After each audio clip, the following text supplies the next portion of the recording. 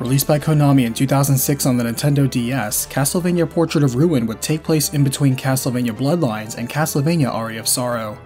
Directed by Satoshi Kushibuchi and written by Koji Igarashi, Hiroto Yamaguchi, and Shutaro Ida, the game features being able to switch between two characters at the same time or use them simultaneously with a separate cooperative multiplayer mode while celebrating the series' 20th anniversary. The story only gets larger from here, so let's cut it down to size with a recapitation. As the game begins, it's 1944 and the world is still suffering under the chaos of World War II. The anguish and anger of millions around the world summon the legendary Castlevania, bringing with it dark intent to push humanity completely into ruin. At this time, two powerful witches named Stella and Loretta approach the castle, sensing something wrong with their father who has already gone inside. Levitating through Castlevania, the girls are more than strong enough to easily annihilate any defenses of the castle while noticing curious paintings along the way. Entering a studio painting, they find their father dying on the floor as he shouts out to a vampire named Brauner that appears behind Stella. He quickly bites her and turns to Loretta, calling them his daughters, promising them world peace before he bites her too. Shortly after, we see Jonathan Morris, son of John Morris, is the current wielder of the famed vampire killer whip. However, the sharp tongue of his childhood friend and gifted witch Charlotte Aulin reveals he is actually unable to use it. Explaining to a concerned priest and merchant named Vincent, they explain that even though the Morris clan is related to the Belmont clan by blood, they are not direct descendants and cannot unlock the full power of the legendary whip. All the same, an optimistic and self-assured Jonathan is confident in their strength, verifying the castle ahead is actually Dracula's castle and the duo dash inside. Outrunning a behemoth corpse, the duo's tag teamwork traverse the obstacles in their way, running into a ghost of a man that chooses to remain nameless. Charlotte is impressed the ghost is able to retain his consciousness and is curious how he somehow knows Jonathan cannot truly wield the vampire killer. He reveals before he died he cast a barrier on himself, binding his soul to this place, so though he is immune to the castle's influence, he is trapped here. Charlotte knows it takes more than a simple barrier to accomplish that, wondering who he really is, and he replies that they can just call him Wind for now. He adds his soul will not rest until this castle's lord is defeated and is willing to grant items and techniques he possessed in life to those who fight the vampire lord. Arrogantly, Jonathan declines Wind's help, but Charlotte warns him about underestimating Castlevania or relying on the vampire killer, reminding him that he could die from the whip just like his father. Jonathan reflexively lashes out in anger at the mention of his father, wanting to forget him, but calming down sees reason and asks Wind for help. Wind then clarifies this castle's lord is not Dracula, and even though it is Dracula's castle, it is another vampire named Brauner. Brauner is an artist as well as a powerful magician, infusing magic into paintings to increase his power and make the castle's power his own. Finding one such painting, Charlotte observes Brauner is using it to directly control the power of Castlevania, but it's also a paranormal phenomenon they cannot destroy through conventional means. However, as they are pocket dimensions with their own regenerating barriers, she theorizes she can use her magic to enable them to enter the painting and collapse the magic from within. Transported inside, they find art literally reflects reality here as the will of the artist is embodied in this painted city. Hurrying through the city of Haze, they pass marketplaces and tunnel systems until they find and destroy a daunting Dullahan. With this, Charlotte notices the monster was the core of the magic energy, and defeating it diminished Brauner's hold of the castle a little bit. Just then, they are met by a young vampire who introduces herself as Loretta and flaunts that they only destroyed one of many of her father's paintings. Bracing himself to slay her now, Jonathan is unexpectedly halted by Vampire Killer itself, and laughing, Loretta states she also has orders not to fight them now as she leaves.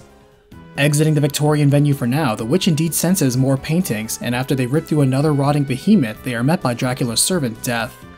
Death asserts this castle always has and always will be Dracula's, and the ownership of Brauner is news to him, wondering why he did not sense it. All the same, Jonathan challenges the Grim Reaper, but Death laughs in his face, stating his father John Morris was much stronger than him and he's dead, and Jonathan is tilted by the comparison. Charlotte holds him back and questions where the anger is coming from, and Jonathan cannot get over how his father only taught him the basics of battle before dying and resents inheriting a powerful relic he cannot use. This adds to how he's also frustrated Dracula may be reviving and has not yet learned to use his hidden power. Moving on, the duo beat Keremet the Blob, delving into a cave system hiding under the portrait. Emerging in an arid Egyptian desert, the duo cross the dunes and tombs, explore the sandy graves, and face down Phantom Pharaohs. Avoiding traps that almost turn them into a sandwich, they run into Brauner alongside Stella, who is surprised to see them inside the painting too. The hunters ask if he intends to revive Dracula, and Brauner confesses he has no intention to. He elaborates that he's tired of waiting for centuries for Dracula to revive just to fail at controlling humanity and get put down over and over. Rather, he intends to take the world from the humans that are ruining its beauty with his own hands. Still, he recognizes Dracula's power is great and has raised the castle in order to channel its power for his purpose. Charlotte questions how it's possible to separate Dracula from his magic, and Brauner boasts his paintings can do exactly that. He lets the duo go, sensing death is snooping around the castle and prioritizes his destruction. Seeing Brauner is beyond their ability now, the group considers themselves lucky, slashing past sandworms and shutting down Astarte to sabotage one more painting. Back in the castle, Jonathan and Charlotte climb to the roof to find another painting, this time a macabre carnival in the ruins of a twisted city where the entire town is spun madly on its side or upside down. At its center, a legion rains down cadavers until the team cracks its core to create one more chink in Brauner's armor. As they exit, Stella waits to ambush them, impatient to kill them now, but as the vampire hunters edge out a win, Stella falls, somehow reverting back to a human temporarily. Before he can finish her off, Loretta saves her sister, pulling her out for now, but warning the pair to stop here. After the girls leave, Jonathan spots a dropped locket and is surprised to find a family photo of his sisters with Wind. Riding a pair of motorized skateboards back to Wind, they ask him about the photo, and seeing this, Wind decides to come clean. He reveals his real name is Eric Lecarde, the same man who fought alongside his best friend and Jonathan's father, John Morris, and Stella and Loretta are actually his daughters, not Brauner's. Brauner lost his real daughters in World War I, and in his grief awakened a new power he used to become a vampire. He then stole Eric's daughters, thinking they were reborn versions of his own, and Jonathan thinks them being of the Lecarde family is why Vampire Killer halted him from striking them earlier. Charlotte asks Eric if he knows how to unlock the Vampire Killer's power, and Eric says he does, elaborating that in order for a member of the Morris family to use the Vampire Killer, they need the power of the Lecarde family. Unfortunately, he cannot help as a ghost, nor can his daughters as vampires, and Jonathan sulks that the whip is useless. With a sigh, Eric says he was forbidden to reveal this, but explains that the story that John died from wounds from Dracula is not true. Rather, for anyone who is not a pureblood Belmont, in order to use the true power of the vampire killer, they must give up a part of their own life. The Lecarde family can act as the power's key for when it's truly necessary, but the fact of the matter is, John died due to overuse of the whip, which is why he didn't want to teach his son how to use it. In the end, John was looking out for his son, and realizing this, Jonathan lets go of his anger at his father, but now demands to know why the Belmonts passed the whip on to the Morris family to begin with. Eric explains the Belmonts cannot touch the whip now, and must not until Dracula's predicted resurrection in the year 1999, and in the meanwhile, it's up to the Morris family to safeguard it and stop the underworld monsters. Forced to accept this, Jonathan wonders what they're going to do about Eric's daughters, and Charlotte suggests trying a purification spell to reverse their transformation, but Eric is doubtful about such a measure. Climbing the Tower of Death, the duo finds the next portrait on the terrace of a water wheel, entering it to find themselves deep in a forest of doom, ridding a mansion of the evils residing within. Descending into the dismal depths of the deadly dungeon, the duo deal with the deep darkness before diving down to destroy a Dagon. Another painting ruined, the pair run into Death again, who denies Jonathan's challenge, repeating he has nothing to do with Brauner. Charlotte counters he is directly involved with Dracula's resurrection, and after clashing, Death admits the pair is stronger than he thought, even without the whip, but tells them they have a task to accomplish first before they get too self-confident. As Death parts ways, the pair talks more with Eric, who shares John learned the vampire killer would consume his life only after Dracula was defeated, and confirmed it with magic after noticing he took much longer than normal to recover.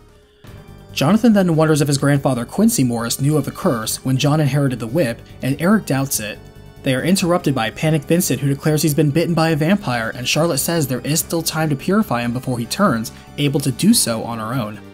Returning to their exploration of Castlevania, up in the Master's Keep, the pair run into the Lecarde sisters, and Jonathan quickly tells them they are being tricked by Brauner. Unfortunately, this falls on deaf ears, and though the girls try to defeat the duo, Jonathan buys enough time for Charlotte to finish her purification spell, and succeeding, Loretta and Stella are restored to their humanity. Though their memory of recent events is foggy, they recognize Jonathan and the vampire killer Whip, apologizing for their actions and thankful for the rescue. Exhausted but properly introducing themselves, the sisters know they have no time to waste in stopping Brauner, who is about to finish his latest piece meant to destroy the world. Their magic can get them access to the sealed painting, and while they do know the ritual to unlock the power of the vampire killer, Jonathan should only use it when he is ready to pay the soul price. The warrior accepts, and the girls explain during the ritual he must now defeat the memory of the last pureblood Belmont to wield the whip to prove his worthiness, and Jonathan finds he is pit against the ghost of Richter Belmont. Edging out a win, Jonathan is recognized by the vampire killer, in awe of its unleashed power, and is reminded not to overuse it. Returning to Eric, they report the restoration of his daughters, and Eric is incredulous and agrees with their choice to hold off on a reunion. Moving on to Brauner's studio, Jonathan sees the four smaller portraits protecting the main piece, each one a deadlier version of familiar locations guarded by the legendary lineup of the werewolf, Frankenstein's creature, the mummy man, and Medusa. Surprising Brauner at his supposed safe space, he is outraged to learn Stella and Loretta have been returned to normal, claiming they are his reincarnated daughters. Jonathan is fast to counter that family is more than blood and is the people in your life who want you in theirs, furious on Brauner's use of a curse to manipulate the girls. Trembling with rage, Brauner snaps, unleashing the power of his painting as what's depicted on the canvas materializes in reality. However, the vampire artist falls, cursing humanity for starting wars and ruining the world, and spitting out that while he may have been wrong, he'll never admit the duo was right. Jonathan says he can live with that, since justice for anyone is just a matter of perspective, but the fact still remains Brauner was a coward trying to reject reality and substitute his own. Defeated, Brauner comments he just wanted to protect his family, but in an instant, he is cut down by Death who thanks the duo for setting him up for the easy cleanup. Death adds the studio painting was cutting off the throw needed to revive Dracula and leaves while the duo pursue him into a painting of a red carpeted stairway. Preparing for the final battle, the duo finds one more hidden portrait and find it to be an ensemble of enemies from days past collected in a nest of evil. Thrashing Balore, beating Gergoth, pummeling Zephyr, hammering Aguni, and subduing Abaddon, the duo now faces off against cruel caricatures of the legendary trio Grant Danasty, Sypha Belnades, and Trevor Belmont. Overcoming themselves in the final struggle, the pair earn the aid of heroes by their side as they finally approach the Lord of Darkness. Casually tossing a glass their way, Dracula suggests they make this a real 2v2, as the Reaper relentlessly hounds the pair during the fight as Dracula carpets the area with deadly sorcery. The hunters strike down Death first, prompting him to send his power to the Vampire Lord who collects it through Soul Steal, ascending into a true demon form, and oppresses the young hunters with crushing power. Overcoming the dynamic team up with their own trust and power, Jonathan and Charlotte stand victorious over Dracula, who declares he knows one day his power will be fully revived. As the game ends, the sun rises on a new day as the group watches Castlevania crumble from a distance. Eric congratulates them on a job well done and tells his daughters he's glad he could see them again, telling them to live their best life now before passing on. Charlotte thanks him for his mentorship, and after the sisters grieve for their father, the girls promise to get stronger and help the hunters going forward. Castlevania Portrait of Ruin has enjoyed the success of selling over 400,000 copies worldwide. This is considered one of the top Castlevania titles and for good reason, so let me know if you got to play it. If you enjoyed the recap, then leave a like, and big thanks to the patron and channel member Hunters. Check out the links in the description for ways to support the channel or places like my Discord server. Thanks for watching, and I'll see you on the next battlefield.